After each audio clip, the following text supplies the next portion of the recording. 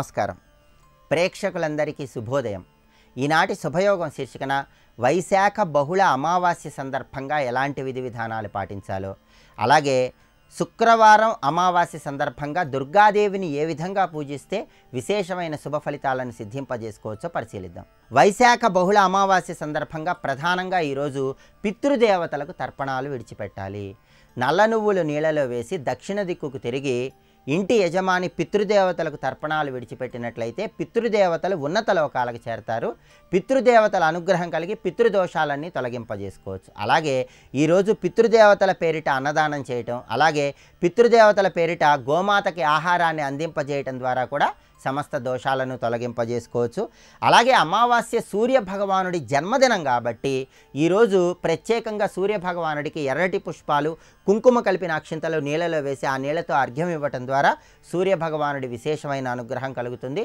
ఈరోజు అమావాస్య సూర్యుడికి ప్రియమైన రోజు కాబట్టి ఆదిత్య హృదయం పారాయణ చేస్తే కూడా ఉత్తమమైన ఫలితాలు కలుగుతాయి. అలాగే అమావాస్య శుక్రవారంతో కలిసి వచ్చింది కాబట్టి ఈరోజు దుర్గాదేవి ఆరాధన ఉత్తమమైనటువంటి ఫలితాలను కలిగింపజేస్తుంది.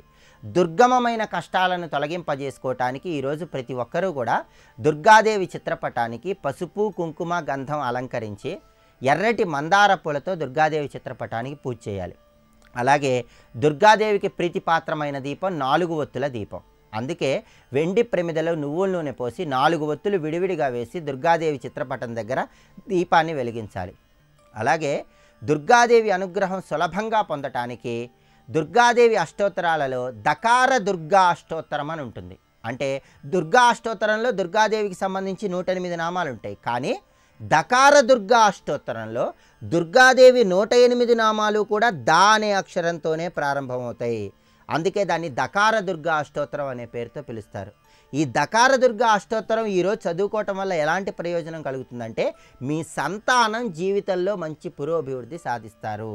సంతానం జీవితంలో అత్యున్నత స్థాయిలో ఉండటానికి జీవితంలో మంచి పురోభివృద్ధిని సాధించడానికి ఈరోజు తల్లి కానీ తండ్రి కానీ దకార దుర్గ అష్టోత్తరం చదివితే మంచిది. ప్రత్యేకంగా తల్లి దకార దుర్గ అష్టోత్తరం చదివితే పిల్లలకి ఎలాంటి సమస్యలు ఉన్నా సరే ఆ సమస్యలను సులభంగా తొలగింపజేసుకోవచ్చు. ఈరోజు చదవటంతో పాటుగా ప్రతి మంగళవారము కూడా మహిళామణులు దకార దుర్గా అష్టోత్తరం చదవాలి. అలా చేస్తే దుర్గాదేవి విశేషమైన అనుగ్రహం చాలా సులభంగా కలుగుతుంది.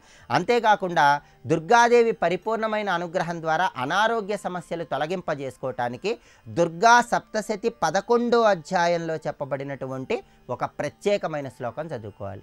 ఈ శ్లోకానికి ఉన్న ప్రత్యేకత ఏంటంటే ఈ శ్లోకం ఏ గృహంలో అయితే పారాయణ జరుగుతూ ఉంటుందో ఆ గృహంలో ఎలాంటి అనారోగ్య సమస్యలు సంభవించవు. ఎలాంటి ఉపద్రవాలు తలెత్తవు. అంతటి శక్తి దుర్గా సప్తశతి పదకొండో అధ్యాయంలో చెప్పబడినటువంటి ఈ శ్లోకానికి ఉంది. ఆ శ్లోకం ఏంటంటే రోగానశేషా నపహంసి తుష్టాత్ రుష్టాతు కామాన్ సకలానభీష్టాన్. త్వామాశ్రితానాం న విపన్నరాణాం త్వామాశ్రితాం హ్యాశ్రయతాం ప్రహంతి. ఇది శ్లోకం. ఈ శ్లోకంలో ఉన్న అంతరార్థం భావం మనం పరిశీలిస్తే రోగానశేషా నపహంసి తుష్టాత్ అమ్మా నిన్ను ఆశ్రయించిన వారికి నిన్ను దరిజేరిన వాళ్ళకి ఎలాంటి అనారోగ్య సమస్యలు తలెత్తవు? రుష్టాతు కామాన్ సకలానభీష్టాన్. వాళ్ళకి ఎలాంటి అనారోగ్య సమస్యలు తలెత్తకుండా వాళ్ళకి ఎలాంటి అభీష్టాలున్నా ఆ అభీష్టాలన్నీ నెరవేరుతాయి. త్వామాశ్రితానాం న విపన్నరాణాం త్వామాశ్రితాం హ్యాశ్రయతాం ప్రహంతి అమ్మ నిన్ను ఆశ్రయించిన వాళ్ళకు మాత్రమే కాదు నిన్ను ఆశ్రయించిన వాళ్ళతో ఎవరు సన్నిహితంగా ఉంటే వాళ్ళకి కూడా ఎలాంటి ఆపదలు దరిజేరవు అని చెప్పేదే ఈ శ్లోకంలో ఉన్నటువంటి అంతరార్థం. అందుకే దుర్గా సప్తశతి పదకొండో అధ్యాయంలో చెప్పబడినటువంటి ఈ అద్భుతమైనటువంటి శ్లోకాన్ని ఎవరైతే ఈరోజు వీలైనన్నిసార్లు పారాయణ చేస్తారో వాళ్ళకి అనారోగ్య సమస్యలు దరిజేరవు. ఎలాంటి సమస్యలున్నా ఆ సమస్యల నుంచి సులభంగా బయటపడతారు. కాబట్టి ఈరోజు ఈ విధి విధానాలు పాటించండి. చక్కటి శుభ ఫలితాలను సిద్ధింపజేసుకోండి. రేపటి శుభయోగం శీర్షికన రేపటి నుంచి జ్యేష్ఠమాసం ప్రారంభమవుతున్న తరుణంలో జ్యేష్ఠమాసంలో ఎలాంటి విధి విధానాలు పాటించాలో జ్యేష్ఠమాసంలో వచ్చే పర్వదినాలేంటో వాటి విశిష్టత ఏంటో పరిశీలిద్దాం. నమస్కారం.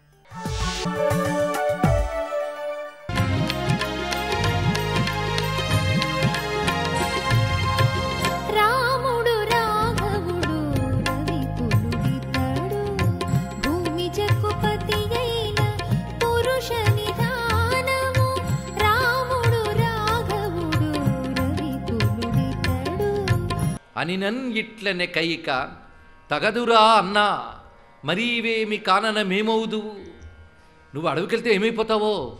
అంటే మరి రాముడు ఏమవుతాడు? రాముడు ఏం కాట ఎంత గట్టిగా చెప్తున్నదో. మరీవేమి కాననమేమవుదువు రాముడని నన్ భద్రాంశ తేజో వినూతన నారాయణమూర్తి శాసిత సమస్త ప్రాణి నీవేగుట అతనిదవు ఏగుట ఒక్కడా భయసముద్రం వయ్యే నీ మాటలు.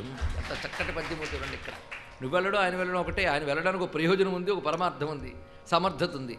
ఆయన ప్రధానాంశ తేజో వినూతన నారాయణమూర్తి ఎంత రమ్యమైన పదాన్ని ప్రయోగించారు చూడండి విశ్వనాథ వారి కల్పవృక్షంలో.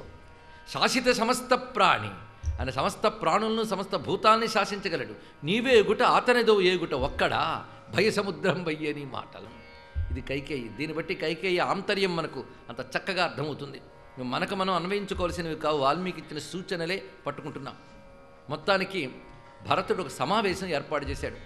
ఎలాగైతే రాముల వారికి రేపు పట్టాభిషేకం చేయాలి అన్నప్పుడు దశరథుడు ఎలాంటి సమావేశం ఏర్పాటు చేశాడో అలాంటి సమావేశం ఏర్పాటు చేసి ముఖ్యమైనటువంటి సామంతుల్ని మంత్రులని పురోహితుల్ని పౌర జానపద ప్రతినిధులను అందరినీ పిలిపించాడు.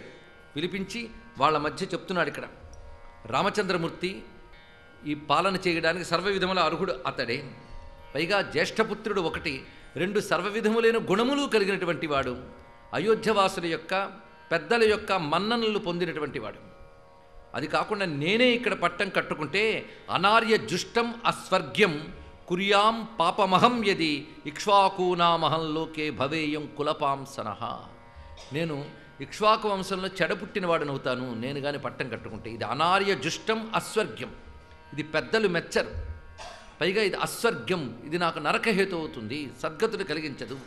యద్ధిమాత్రా కృతం పాపం నాహం తదపి రోచయే ఇహస్థో వరదుర్గస్థం నమస్యామి కృతాంజలి అంతేకాదు వంశానికి కళంకం తెచ్చిన వాడిని అవుతాను. పాపాత్ముడైన వాడే దీనికి ఒడిగడతాడు. అందుకే నేను దీన్ని స్వీకరించడం లేదు. ఆ రామచంద్రమూర్తికి నమస్కరిస్తూ ఇక్కడి నుంచే ప్రణమిల్లుతున్నాను అడవిలో ఉన్నటువంటి రామచంద్రమూర్తికి. నేను రాముని అనుసరిస్తాను. రామమేవ అనుగచ్చామి రాజా సద్విపదాంబర పైగా రాముడు అయోధ్యకు పాలనకు అర్హుడని చెప్పడం ఏంటి? త్రయాణామపి లోకానాం రాజ్యమర్హతి రాఘవ. ముల్లోకాలకి ప్రభువుగా ఉండవలసిన వాడు రామచంద్రమూర్తి. అని ఎప్పుడైతే ఈ మాటలు చెప్పాడో వెంటనే సభాసదులందరూ ఆనందించేట. తద్వాక్యం ధర్మ సంయుక్తం శృత్వా సర్వే సభాసద. హర్షాన్ ముముచు రశ్రూని రామే నిహిత చేతస. వాళ్ళందరికీ భరతుని మాటలు విని ఆనందాస్త్రువులు వచ్చేట. మనస్సు వారందరికీ రాముని యందే ఉన్నది గనక భరతుని వాక్యములతో ఆనందాశ్రువులు వచ్చి ఆనందంగా అభినందించారు మహానుభావుడైన భరతుని. ఇది త్వార్యం నశక్షామి వినివర్తయితం వనాత్. నేను వెళతాను వనాలకి వెళ్ళి రామచంద్రమూర్తిని తీసుకువస్తాను. ఒకవేళ తీసుకురాలేకపోతే వనే తత్రైవ వత్స్యామి యథార్యో లక్ష్మణస్తథ. పరమ పూజ్యుడైన లక్ష్మణుడి వల్లనే నేను అడవిలోనే ఉండిపోతాను. మొత్తానికి అన్ని ప్రయత్నాలతో రాముణ్ణి తీసుకురావడానికే మనం సన్నద్ధం అవ్వాలి దానికి తగ్గ అన్ని రకాల ఏర్పాట్లు మీరు చూడండి. అని అక్కడ ఉన్నటువంటి మంత్రులకి సేనాపతులకి ఇతరత్రా ఉన్నటువంటి తత్కార్యకర్తలందరికీ కూడా ఆజ్ఞాపించాడు మహానుభావుడైన భరతుడు. అందుకే విష్టికర్మాంతికా సర్వే మార్గశోధక రక్షకా ప్రస్థాపితామయా పూర్వం యాత్రాపి మమ రుచతి అందుకు అన్ని విధాల రాముని కడకు వెళ్ళడానికి ఇష్టపడుతున్నాను కనుక రక్షణ కార్యములు యాత్రా కార్యములు మీరు చూడండి అని చెప్పిన వెంటనే సర్వసన్నద్ధం చేశారు అక్కడ. ఎంత ఉత్సాహంతోనో సైన్యమంతా పనిచేసిందిట. పైగా రాజ్యంలో ఉన్నటువంటి అయోధ్యలో ఉన్నటువంటి పెద్దలందరూ కూడా బయలుదేరిపోతున్నారండి ఇక్కడ. ఈ చేస్తున్న పని చాలా మంచిది రాముడు తిరిగి వస్తాడు అనేటువంటి ఆనందం అందరికీ కలిగింది. ఆ ప్రస్థానం చాలా విశేషం. ముఖ్యంగా అందరూ రావాలని చెప్పినా వాళ్ళంతటి వాళ్ళు ఉత్సాహంగా వస్తున్నారు ఇక్కడ. మొత్తం అయోధ్య పరివారం అంతా కదులుతున్నట్టే లెక్క. అక్కడ వారి యొక్క వరుస ఎవరెవరు వస్తున్నారో వారి యొక్క పేర్లు ఇక్కడ చెప్తాడు. ఆశ్చర్యం కలుగుతుంది మనకి ఇక్కడ ముందుగా ఈ మాటకు సంతోషించిన వారు ఎవరు అంటే కైకేయీచ సుమిత్రాచ కౌసల్యాచ యశస్విని ఇక్కడ చూడండి సంతోషించింది కైకేయిట. అసలు నిజంగా వరుస కౌసల్యాచ సుమిత్రాచ కైకేయిచే అనొచ్చు కానీ కైకేయి ముందు పెట్టాడు. అంటే భరతుడు ఈ మాటకి ప్రథమంగా సంతోషించింది కైకేయి. ఆ మాట అంత ఆనందించింది. రాముని తిరిగి తీసుకొస్తారని అంటే కైకేయి అనబడేటువంటి మనస్సుకు మాత్రం రాముడు రావాలని ఉంది. ప్రేరేపించినటువంటి బుద్ధులు వేరే ఉన్నాయి. వాళ్ళ లక్షణాలు వేరు. కైకేయీచ సుమిత్రాచ కౌసల్యాచ యశస్వని రామానయన సంహృష్ట యయురి యానేన భాస్వత. వాళ్ళందరూ కూడా సముచితమైన వాహనాల మీద వాళ్ళందరూ బయలుదేరారు. ప్రైతాశ్చార్య సంఘాత రామం ద్రష్టం సలక్షణం తస్యైవ చ కథాశ్చిత్ర కుర్వాణ హృష్టమానస. వెళుతున్నటువంటి పౌరులందరూ కూడా రాముని వద్దకు వెళుతున్నామన్న ఆనందంతో వెళుతున్నట్ట. పైగా ఏమనుకుంటున్నారంటే ఇప్పుడు రాముణ్ణి చూడబోతున్నాం. పైగా ప్రయాణం ప్రారంభించినప్పుడు ఎంత వేగం చూస్తామా అని ఒక ఆత్రం ఉంటుందట. ఎంత వేగమో రామచంద్రమూర్తి యొక్క దివ్యమంగళ విగ్రహాన్ని చూస్తాము అనే భావన అయోధ్యవాసులకు కలుగుతోంది. మేఘశ్యామం మహాభాగం స్థిరసత్వం దృఢవ్రతం కదా ద్రక్ష్యామహే రామం జగత శోకనాశనం సర్వజగత్తుకి శోకనాశకుడు రాముడు. అందుకే జగదానందకారక అన్నాడు త్యాగయ్య సర్వజగదానందకారకుడైనటువంటి రామచంద్రమూర్తి యొక్క మేఘశ్యామలమైన మహాబాహువులతో కూడిన స్థిరమైన సత్వముతో దృఢమైన నియమాలతో కూడిన రామచంద్రమూర్తి యొక్క దివ్యమంగళ విగ్రహాన్ని కదా ద్రక్ష్యామహే ఎప్పుడు చూస్తామో కదా? ఆ ఎప్పుడు చూస్తామో కదా అనేది భక్తికి సంబంధించిన ఒకానొక ఆర్తి. భక్తిలో దీన్ని దర్శనకాంక్ష అంటారు. భక్తి భూమికలు పెరుగుతున్నప్పుడు మొట్టమొదటి నామస్మరణ చేయడం ఆరాధన చేయడం ఉంటుంది. ఇంకా పెరిగే దర్శనకాంక్ష ఉంటుంది. అది తీవ్రమైతే భగవద్ అనుగ్రహం లభిస్తే అది క్రమక్రమంగా తాదాత్మ్యము ఇత్యాది దశలకు తీసుకువెడుతుంది భక్తి భూమికలు. ఇది మనకి శివానందరిలో శంకర వారు కూడా కదావా కైలాసే అంటారు. కదా నిలింపని ఝరీ నికుంజకోటరే వసన్ అని శివతాండవ స్తోత్రంలో చూసాం అదేవిధంగా రామకర్ణామృతంలో కదావా సాకేతే కనకమణి సౌధే అని శంకరులు సాకేతంలో ఉన్నటువంటి రాముడిని ఎప్పుడు చూస్తానో కదా అంటారు. అలాగే ఇక్కడ వీరందరూ కూడా ఆ అరణ్యంలో ఉన్నటువంటి రామచంద్రమూర్తిని కదా ద్రక్ష్యామి పైగా మనం రాముడిని చూస్తే రాముడు మనల్ని చూస్తాడు. చూసినప్పుడు ఎలా ఉంటుందో ఊహిస్తున్నారు ఇక్కడ. దృష్టయేవగిన శోకం అపనిష్యతి రాఘవ. ఒక్కసారి మనం చూడగానే రాముడు మనల్ని చూడగానే మనకున్న శోకములన్నీ తీరిపోతాయి. ఎందుకంటే జగత శోకనాశనం రాముని దృష్టి పెడితే చాలు.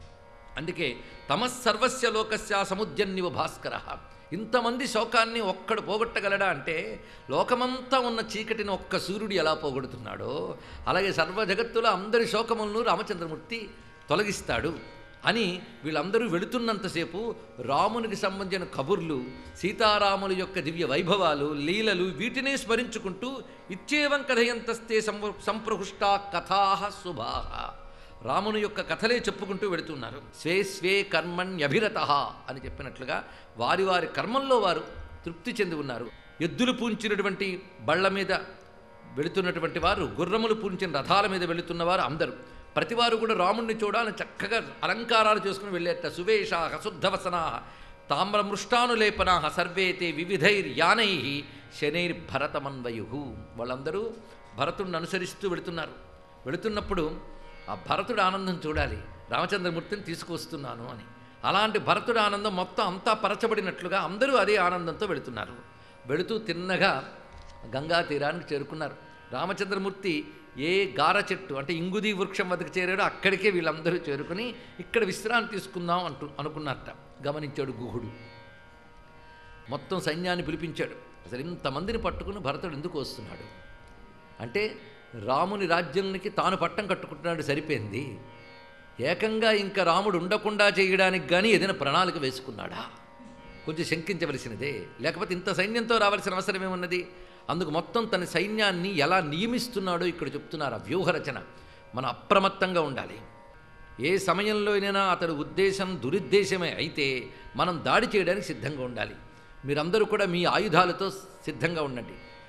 కొన్ని పడవలు గంగలో ఉండాలి. ఆ పడవల ప్రతి పడవలోని సాయుధులైనటువంటి యోధులు ఉండాలి అలా ఉండండి మొత్తం పడవల్లో కూడా. నేల మీద అటు ఇటు జలంపై నేలపై అని పెట్టాడు. ఏర్పాటు అలా చేసాడు ఏమీ ఎరగనట్టు. సర్వం శ్రీ రామచంద్ర చరణారవిందార్పణమస్తు. స్వస్తి.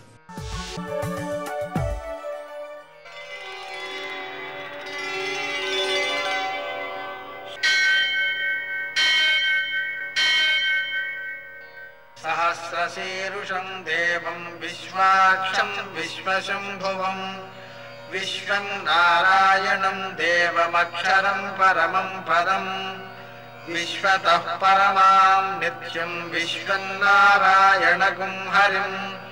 विश्वमेवेदम् पुरुषस्तद्विश्वमुपजीवति।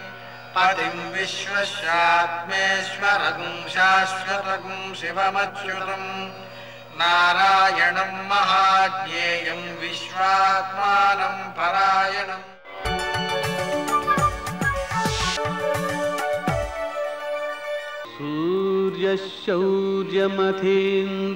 சூரியசௌரியமதேந்துரிந்திரபதவி சன்மங்களம் மங்களம் లక్ష్మీం క్షీరసముద్రరాజతనయాం శ్రీరంగధామేశ్వరీం దాసీభూత సమస్తదేవ వనితాన్ లోకైక దీపాంకురాం శ్రీమన్మందకటాక్షలబ్ధ విభో బ్రహ్మేంద్ర గంగాధరా త్వాం త్రైలోక్య కుటుంబినీం సరసిజాం వందే ముకుంద ప్రియా నేటి కాలమాన విశేషాలను గమనిద్దాం. స్వస్తి శ్రీ చాంద్రమాన శార్వరినామ సంవత్సరం ఉత్తరాయణం వసంత ఋతువు వైశాఖ మాసం కృష్ణపక్షం శుక్రవారం. సూర్యోదయం ఐదు గంటల నలభై ఆరు నిమిషాలకు సూర్యాస్తమయం ఆరు గంటల ముప్పై తొమ్మిది నిమిషాలకు. తిథి అమావాస్య రాత్రి పదకొండు గంటల ఆరు నిమిషాల వరకు నక్షత్రం కృత్తిక రాత్రి మూడు గంటల ఏడు నిమిషాల వరకు వర్జం మధ్యాహ్నం రెండు గంటల నాలుగు నిమిషాల నుంచి మూడు గంటల నలభై తొమ్మిది నిమిషాల వరకు దుర్ముహూర్తం ఉదయం ఎనిమిది గంటల ఇరవై ఒక్క నిమిషాల నుంచి తొమ్మిది గంటల పన్నెండు నిమిషాల వరకు మరల మధ్యాహ్నం పన్నెండు గంటల ముప్పై ఎనిమిది నిమిషాల నుంచి ఒంటి గంట ముప్పై నిమిషాల వరకు అమృతకాలం రాత్రి పన్నెండు గంటల ముప్పై ఒక్క నిమిషాల నుంచి రెండు గంటల పదిహేను నిమిషాల వరకు రాహుకాలం శుక్రవారం కాబట్టి ఉదయం పదిన్నర నుంచి పన్నెండు గంటల వరకు అష్టగౌరుగు రీత్యా శుభప్రదమైన సమయం ఉదయం పది గంటలకి. నేటి విశేషం అమావాస్య. అలాగే శుక్రవారం కూడా. అమావాస్య కావడం వల్ల మనం పితృదేవతలను ఆరాధించడం ద్వారా మన పిల్లలు అభివృద్ధిలోకి వస్తారు. మన పిల్లల్ని ఆశీర్వదించే శక్తి వాళ్ళకి మాత్రమే ఉందన్నమాట. అంతటి గొప్ప విశేషం పితృదేవతారాధనలో ఉంది. విశేషించి ఈరోజు మనకు పద్మక యోగం అనేటువంటిది ఒకటి ఉంది. ఈ పద్మక యోగంలో విశేషం ఏంటంటే సూర్యుడు చంద్రుడు కూడా ఒకే నక్షత్రంలో ఉన్నందువలన ఈ పద్మక యోగం విశిష్టమైనదిగా భావన చేయడం జరిగింది. పద్మక యోగం సందర్భంగా మనం చేసేటువంటి స్నానం అంటే మహానదుల్లో స్నానం చేయడం అలాగే తీర్థాల్లో స్నానం చేయడం వీటి ద్వారా గోసహస్ర దాన ఫలితం సిద్ధిస్తుంది. అంటే వెయ్యి గోవులను దానం చేసిన ఫలితము ఒక్క స్నానంతో సిద్ధిస్తుంది. అటువంటి సత్ఫలితాన్ని ఇచ్చేటువంటి సమయాన్ని మనం పూర్తి సద్వినియోగం చేసుకోవడం అనేటువంటిది చాలా చాలా మంచిది.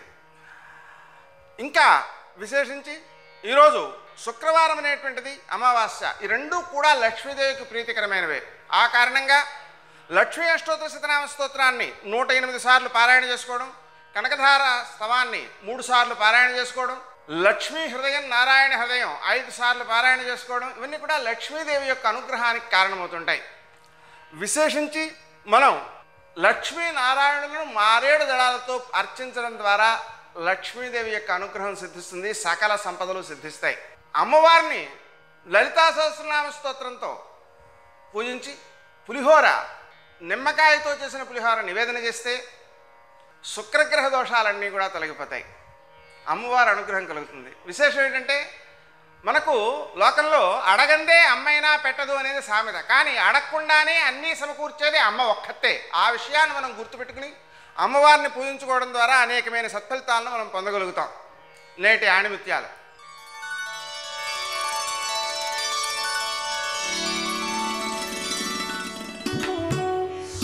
ఎప్పుడూ ఏదో పోతుందని భయపడేవారు ఎప్పుడూ నష్టపోతారు.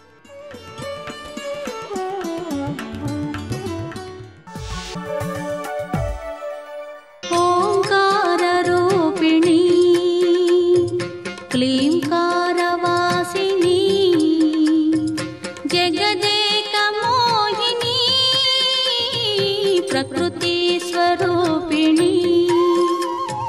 ఈ రాకా శబ్దం మూకశంకరులే కాదు శంకరాచార్యులు వారు కూడా వేశారు అమ్మవారికి. సౌందర్యలహరి చేస్తూ లలాటం లావణ్యద్యుతి విమలమాభాతి తవయత్ ద్వితీయం తన్మన్యే మకుటఘటితం చంద్రశకలం విపర్యాసన్యాసాదుభయమపి సంభూయ చ మిధ సుధాలేపస్యూతి పరిణమతి రాకాహిమకర అని. శంకర భగవత్పాదులకి చాలా ఇష్టమైన పేర్లలో హిమకరహ సుధాకరహ. ఈ రెండు పేర్లు ఆయనకి చాలా ఇష్టం. హిమకరహ. హిమకరుడు అంటే చల్లని కిరణములు కలిగిన వాడు ఆయన వాంగ్మయంలో హిమకరహ అన్నమాట ఒకటి రెండు మాటలు కనపడుతుంది. ఎందుకంటే సౌందర్య లహరిలో అమ్మవారికి అన్న నామాలు ఉన్నాయి ఆయన అమ్మవారిని పిలిచినప్పుడు ఎక్కువ నామాలు వాళ్ళ. బహు తక్కువ నామాలు వాడారు. శివే ఆ నామం ఎక్కువ వాడారు. ఏదో అమ్మవారి కంటి చూపు వైభవం చెప్పవలసి వస్తే కొన్ని చోట్ల చెప్పారు. విశాల కళ్యాణి స్ఫుటరుచిర అయోధ్యా కువలయై కృపాధారాధారా కిమపి మధురా భోగవతిక అవంతి సృష్టిస్తే బహునగర విస్తార విజయ ధ్రువం తత్తన్నామవ్యవహరణ యోగ్యా విజయతే అని. అటువంటి శంకర భగవత్పాదులు కూడా రాకా శబ్దం వేశారు. రాకా అంటే పౌర్ణమి నాడు ఉండేటటువంటి నిండు చంద్రబింబం అమ్మవారి ముఖం ఎలా ఉంటుందంటేట రాకాచంద్ర సమాన కాంతి వదన. పౌర్ణమి నాడు ఉండేటటువంటి చంద్రబింబంలోంచి వచ్చేటటువంటి కాంతి ఎలా ఉంటుందో అటువంటి కాంతి జాలువారుతున్నటువంటి ముఖమండలము కలిగినటువంటి ఓ కామాక్షి అని పిలిచారు ముఖశంకరు ఎందుకు పౌర్ణమి చంద్రుడితోనే పోల్చడం? ఏం తదియనాటి చంద్రరేఖ ఆవిడ యొక్క కిరీటంలో ఉంటుంది. శంకరుడి కిరీటంలోనూ తదియనాటి చంద్రరేఖ ఉంటుంది. విఘ్నేశ్వరుడి కిరీటంలో ఉంటుంది. శివుడి కిరీటంలో ఉంటుంది. సరస్వతీదేవి కిరీటంలో ఉంటుంది. అందుకే శరజ్యోత్స్న శుద్ధాం శశియుత జటాజూటమకుటాం అంటారు. అందరూ ధరిస్తారు ఇది. ఎందుకంటే శంకరుడు తెలుపు సరస్వతి తెలుపు ఇద్దరు జ్ఞానప్రదాతలు. అందుకని ఇద్దరికీ కిరీటంలో చంద్రరేఖ ఉంటుంది. చంద్రమౌళీశ్వరి. చంద్రమౌళి అని ఆయనకి పేరు. చంద్రమౌళీశ్వరి అని ఆవిడికి పేరు. అయితే పౌర్ణమి నాటి చంద్రబింబంతో ఎందుకు పోల్చాలి?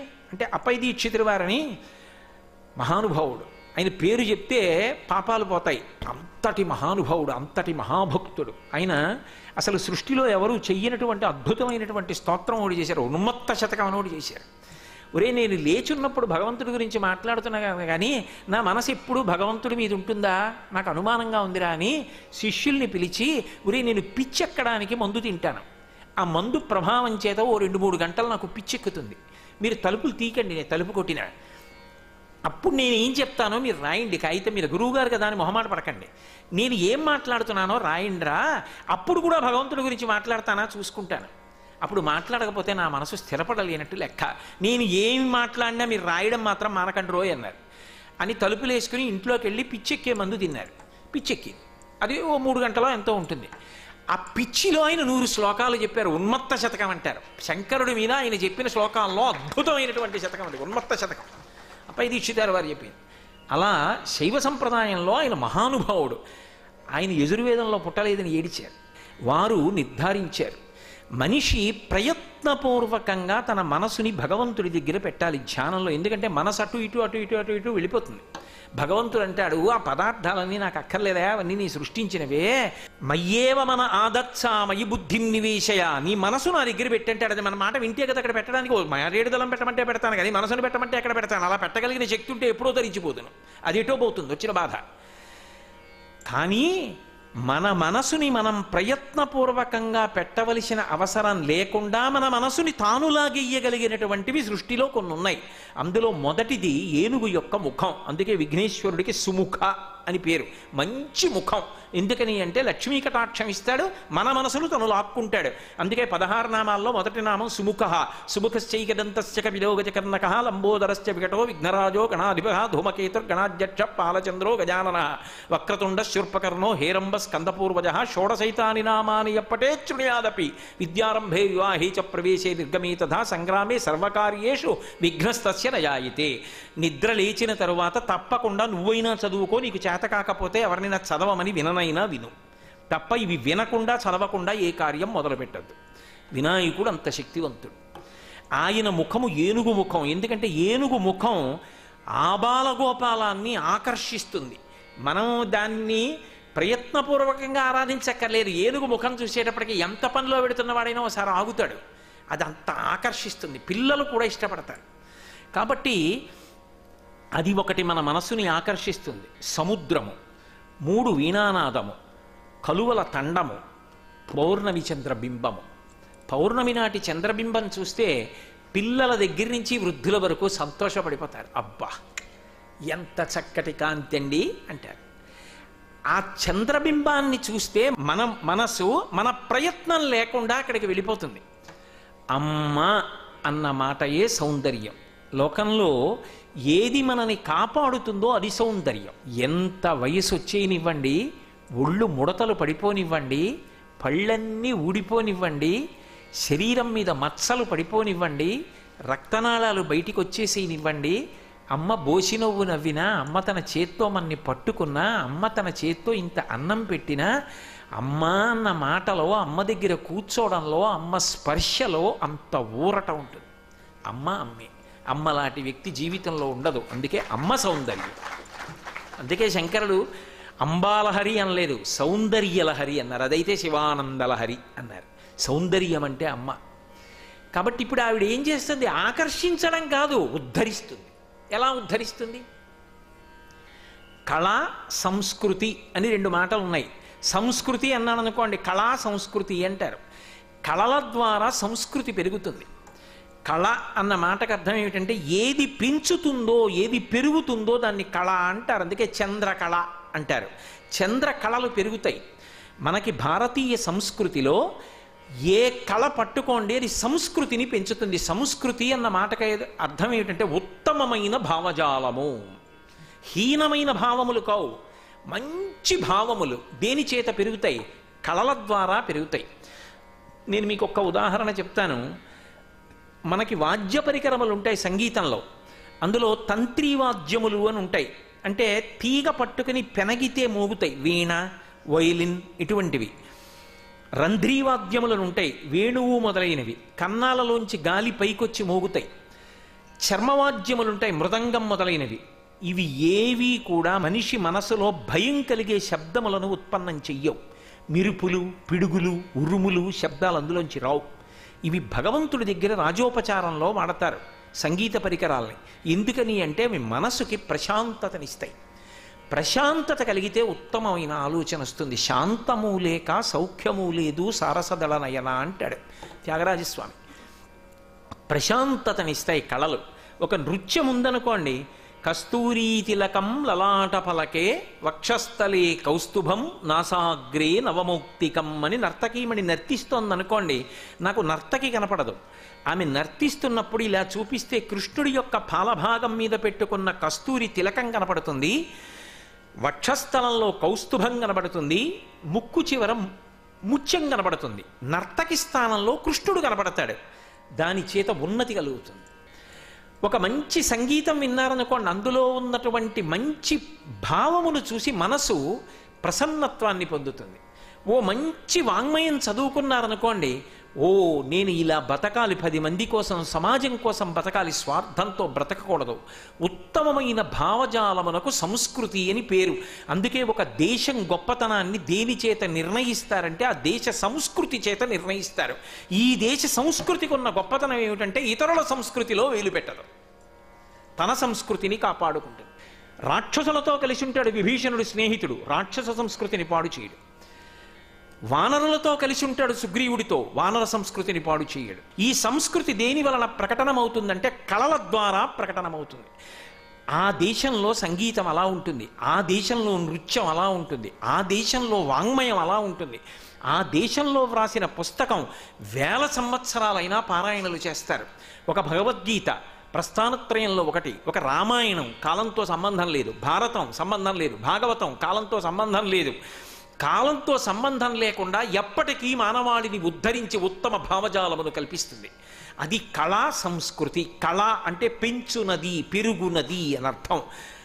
ఆ పూర్ణచంద్ర బింబంలో ఆ చంద్రమండలం యొక్క మధ్యలో అమ్మవారు ఉంటుంది. అందుకని చంద్రుడి యొక్క కాంతిక గొప్పతనం. ఆ చంద్రబింబ దర్శనంలో ఈ శ్లోకం చదువుతూ అమ్మవారి యొక్క కాంతిని మీరు చూడగలిగారు అనుకోండి సమాన కాంతి వదన అంటూ నేను చంద్రబింబం వంక చూశాను అనుకోండి మనసుని ప్రక్షాళనం చేస్తుంది. చేసి ఉత్తమ భావజాలమును నింపుతుంది.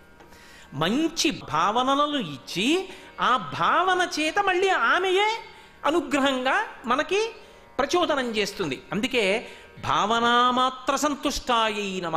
లలితాష్టోత్తరంలో ఆవిడ నిజానికి క్రతువు చేత సంతోషించదు. అందుకే సాత్విక పూజ అంటారు వసంత నవరాత్రుల్లో.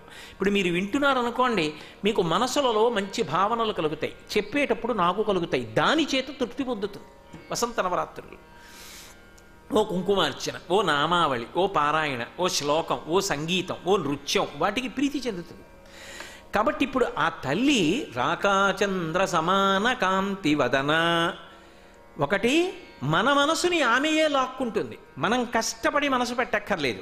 రెండు మంచి సంస్కృతిని ఉత్తమమైన భావజాలమును ఇస్తుంది. ఎందుకనో తెలుసా? కదలికలు ఏవైనా శక్తి. కదలికలన్నీ ఆగిపోతే శివుడు. ఇది బాగా గుర్తుపెట్టుకోండి. ఒక గంభీరమైన మాట చెప్పాను నేను. ఒక చెరువు ఉందనుకోండి ఏ అలా లేదు.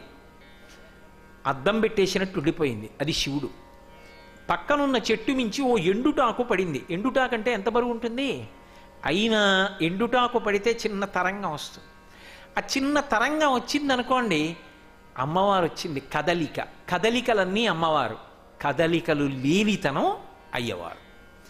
కదలికలన్నీ ఉండాలి ధర్మం. అందుకే ధర్మిణి ధర్మవర్ధిని కదలికలన్నీ ధర్మబద్ధము కావాలి. అది చివరికి ఏమవుతుంది? ధర్మము సత్యమునకు తీసుకెడుతుంది. సత్యమేమవుతుంది? కదలికలు ఉండవు. చలనచిత్రములన్నీ కదలని తెర మీద కనబడతాయి. చలనచిత్రం అయిపోయిన తర్వాత తెర తెల్లగా అలాగే ఉంటుంది. దానికి ఏ సంబంధం లేదు ఏం కనపడలే. తాను కదలిక లేకుండా ఉంటుంది. సత్యం శివం సుందరం అది ఆత్మ అలాగే ఉంటుంది. ఆ సత్యము అందడానికి ధర్మము వైపుకి ప్రయాణం చేయిస్తుంది.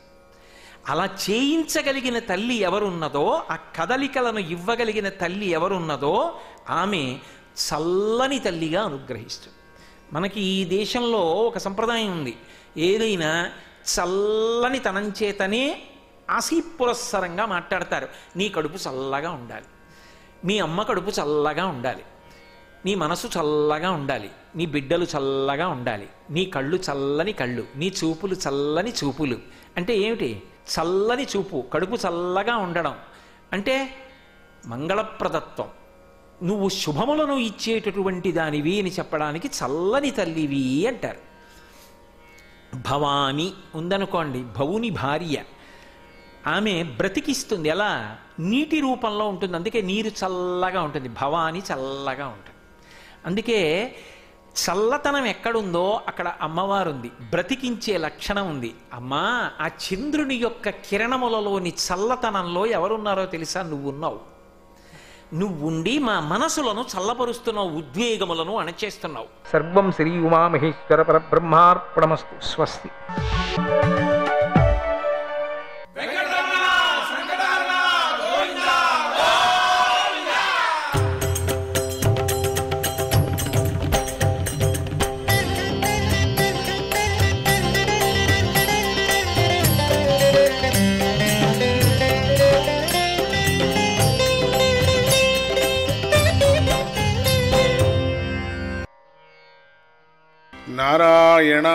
ఉండగానే మనకు జ్ఞాపకం వచ్చేది మొట్టమొదట నారదుడు.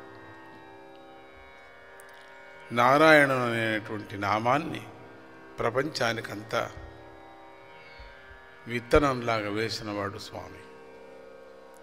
ఆ విత్తనం ఈరోజు వటవృక్షమై మళ్ళీ వంశవృక్షాలే నారాయణ అని అంటూనే ఉన్నాయి అన్ని చోట్ల. ఇక్కడ ప్రతిష్టాపన ప్రతిష్టాపనకోస్కరం స్వామి రాజుగారు చెప్పినట్టుగా అందరూ ప్రార్థన చేస్తూ మునులంతా గంగా తీరంలో యజ్ఞం ప్రారంభించారు ఆ సమయంలో ఏదో పని మీద అటుగా వెళుతున్నటువంటి దేవరిషి నారద మహర్షికి ఆ మంత్రాలు వినిపించాయి ఎక్కడికో ఏవేదో ఏదో పని అని. ఏ పని కాదు ఈ పనే కానీ చెప్పడం మాత్రం ఏదో పని మీద వచ్చినట్టుగా తన పని అయిపోయినట్టుగా అట్లా చెప్పడం ఒక పురాణాల్లో వాడికగా ఉన్నది. దీనికి పని కట్టుకొని నేను రాలేదు నేను వచ్చింది వేరే పని. ఈ పని అయిపోయింది. అందుకని నేను వెళ్ళిపోతున్నాను. మరి వచ్చింది వేరే పనేనే?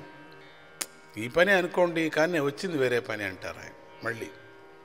అంటే ఇరవై నాలుగు గంటలు పని అని అర్థం ఆయనకి. ఇది అవుతూనే వచ్చిన పని అంటూ ఇంకొక పని అట్లా దాని పనికి వచ్చినట్టు లెక్క కదా అనుకుంటాడు. అది. ఆయన చెప్పేది విధానమట. నారాయణ నారాయణ అనుకుంటూ వెళుతున్నటువంటి ఆయనకు తన గానం సాగటం లేదని అనిపించింది. ఎందుకు? నా గానం పలు పలు విధ రాగాలతో సాగేటువంటి నారాయణ అనేటువంటి రాగం ఎందుకు? అటా నిలిచిపోతుంది ఎందుకు? అని క్రిందికి చూశాడు ఒక్క పర్యం. ఏంటిది అని యజ్ఞం మహావైభవంగా జరిగిపోతోంది. అరే ఎన్నో యాగాలు చూశాను కానీ ఎప్పుడూ ఇలా జరగలేదే అనుకున్నాడు. అంటే ప్రతి యజ్ఞంలోనూ ఇట్లా అంటుంటాడు ఆయన ఎప్పుడూ అంతే. మీకోసరం మీ ఇంటికి వచ్చానండి లేకపోతే రానండి అని అట్లా వస్తూ స్వామి అని అని అంటూ అంటూ మీకోసరం మీ ఇంటికి వచ్చాను అని ఇంకొక ఇంటికి అంటే మీకోసరం మీ ఇంటికి వచ్చాను. అవును వాళ్ళ కోసరం కదా ఆ ఇంట్లో వాళ్ళే కదా ఉంటారు వేరే వాళ్ళు పక్క వాళ్ళు ఉంటారు కదా. అది నిజమే. అయినప్పటికీ మనకేమనిపిస్తుంది? హాస్యంగా అనిపిస్తుంది మనకు. అది నిజమే. ఆ విధంగా ఈ నారద మహర్షి ప్రతి యజ్ఞానికి వచ్చినప్పుడంతా ఈ యజ్ఞం మాదిరి లేదు ఈ యజ్ఞం మాదిరి లేదు ఈ యజ్ఞం మాదిరి అసలే నేను చూడలేదు. ఈ యజ్ఞం అవును కదా ఈ యజ్ఞం మాదిరి అన్ని చోట్ల ఎక్కడ ఉంటుంది. ఆ యజ్ఞమే వేరే విధంగా ఆ యజ్ఞమే వేరే విధంగా ఆ యజ్ఞమే వేరే విధంగా ఉంటుంది కదా. అందుకని ఈ యజ్ఞం మాత్రం నేను చూడలేదు. ఎన్నో యజ్ఞాలు చూశాను. ఈ యజ్ఞం మాదిరి నేను చూడలేదు అంటే ఎన్నో ఆ యజ్ఞం ఆ యజ్ఞమే కదా. ఆ యజ్ఞం ఆ యజ్ఞమే ఈ యజ్ఞం ఈ యజ్ఞం. ఆయనకు భగవత్ సంకల్పం అర్థమైపోయింది. నారాయణ నారాయణ. జరిగేది మామూలు కార్యం కాదు మహత్ కార్యం ఇది. ఆయన నిజంగా ఒక మంచి పెద్ద పెద్ద కార్యక్రమమే జరుగుతున్నది ఏదో మామూలుగా యజ్ఞం కాదు ఇది అనుకున్నాడు. ఇంతటి మహత్ కార్యంలో నా పాత్రను నేను పోషించకపోతే ఎట్లా? అసలు నా ఒక పార్ట్ లేకపోతే ఎట్లా ఉంటుంది? ఇది నేను పార్ట్ నేను కల్పించుకోవాలి కదా? అసలు కల్పించుకోవటానికి వచ్చాడు మహానుభావుడు. నా పాత్ర కాస్తైనా నేను కల్పించుకోవాల్సిందే. ఎవరు ఇవ్వాల్సిన పని లేదు. తన పాత్ర తానే కల్పించుకొని వెళతాడు ప్రతి నాటకంలో నువ్వు తప్పకుండా పోషించాల్సిందే నా నాటకం అని పిలవని పేరెంటం ఎందుకులే అని ఊరుకోరాదు ఇప్పుడు. ఎందుకులే ఇట్లా? తెలియనటువంటి దానికి పిలిచినటువంటి దానికి ఎందుకు మనం తల చూపకూడదు కదా? మూగు వేయకూడదు కదా అక్కడికి? ముక్కు తూర్చకూడదు కదా? అయినా ఏంటి? దీన్ని ఎవరు పిలిచాలా? మనల్ని అంత పిలిచాల్సిన పని లేదే. ఇంతటి మహాయజ్ఞం జరుగుతుంటే పిలవకపోయినా మనమే వెళ్ళి సహాయం చేయాలి అనేటువంటిది ఒక నియమం ఉన్నది. ఇంత పెద్ద యజ్ఞం ఇది పబ్లిక్ యజ్ఞంగా జరుగుతున్నది. పిలకపోతే న్యూట్రిషన్ ఎందుకు? న్యూట్రిషన్ లేదు నాకు అనాల్సిన పని లేదు. నారద మహర్షి అనుకున్నాడు. నారాయణ స్మరణ చేసుకుంటూ నేనేం చేయాలా? అనుకొని వచ్చాడు అక్కడికి. ఒక సమితి వేయాలి ఒక పుల్ల వేయాలా? అని. ఒక పుల్ల వేశాడు ఇక్కడ. హఠాత్తుగా అక్కడికి వచ్చినటువంటి మహర్షిని చూసి మునులందరూ సంతోషంతో పొంగిపోయారు. నారద మహర్షి వచ్చాడు కదా ఇక కార్యక్రమం చాలా బాగుంటుంది అనుకున్నారు. కానీ కొంతమంది మాత్రం ఇక నారద మహర్షి వచ్చాడు. ఇప్పుడే ఈ సమితులన్నీ జోడిచి పెట్టాము ఇక్కడ. దీంట్లో పుల్ల వేస్తాడో అగ్గి పుల్ల వేస్తాడో తెలియటం లేదు అనుకున్నారు అందరూ. ఎందుకంటే ఎన్నో మహత్తరమైన లోక కళ్యాణ కార్యాలు ఆయన చేతుల మీదుగా జరిగాయని అందరికీ తెలుసు. ఒకవేళ పుల్ల వేసినా మంచిదే. మనం వేసినటువంటి అగ్నికి. లేదు మనం సరిగా అగ్ని వేయకపోతే ఆయన అగ్గిపుల్ల వేసినా కూడా మంచిదే అని అట్లా యోచన చేసుకున్నారు అందరూ. రెండూ చేయొచ్చు. అనుకొని దేవర్షి వచ్చాడంటే తమ యజ్ఞం సఫలమైనట్లే. ఆయన వచ్చి దర్శనం ఇచ్చాడంటే అయిపోయింది మనకు అని వాళ్ళంతా భావించారు. ఆయనను గౌరవించారు. పూజించి కూర్చోబెట్టారు. ఊరికే రారు మహానుభావులు ఎందుకో వచ్చినట్టుంది. తమకేం ఉపదేశం చేస్తాడని ఎదురు చూస్తున్నారు అందరూ కూర్చొని. కశ్యపాది మునులు కూడా అక్కడే ఉన్నారు అందరూ చేతులు కట్టుకొని ఏమన్నా రెండు మాటలు మాట్లాడని అని. భృగుడు కూడా అక్కడే ఉన్నాడు. అప్పుడు నారద మహర్షి అందరినీ చూసి చిరునవ్వు నవ్వి తన ఉపన్యాసం ప్రారంభం చేసుకున్నాడు. మీరు చేసేటువంటి యజ్ఞం సాధారణమైంది కాదు అని దాని యొక్క వివరణ అంతా చెప్పుకొచ్చాడు. ఇది కేవలం భగవత్ప్రీతికరకమైనటువంటిది ఇది భగవంతుడికే ప్రీతి అయినటువంటి యజ్ఞాన్ని మీరు చేస్తున్నారు. అందుకని ఎంతో మహత్కార్యం చేస్తున్నారు మీరు. అందరూ దేవతల ముఖాంతరంగా పరమాత్మని ప్రీతిస్తే మీరు డైరెక్ట్గా దేవతకే ఇచ్చేస్తున్నారు మీరు యజ్ఞాన్ని.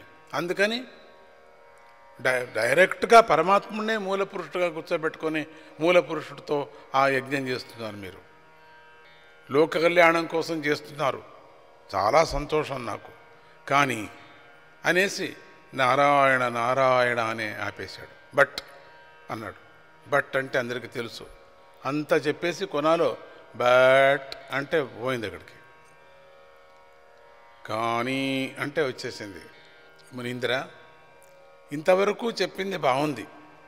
యజ్ఞాన్ని గురించి ఆ పరమాత్ముని గురించి మేము చేసేటువంటి యజ్ఞ మహిమను గురించి చెప్పారు మునీంద్ర. కానీ అని ఆపేశారేమిటి? యజ్ఞంలో ఏమన్నా తప్పు జరిగిందా? అని అందరూ ఆతురతగా అడిగారు. ఎందుకు కానీ అన్నారు అని. అందుకు నారద మహర్షి హరిహరి ఏమీ జ- ఏమీ జరగలేదయ్యా. కంగారు పడకండి. ఎందుకు ఇంత కంగారు పడుతున్నారు? యజ్ఞం చేసే హడావిడిలో మీరొక్క చిన్న విషయాన్ని మర్చిపోయారంతే. గోవింద సానంద మానంద పరమా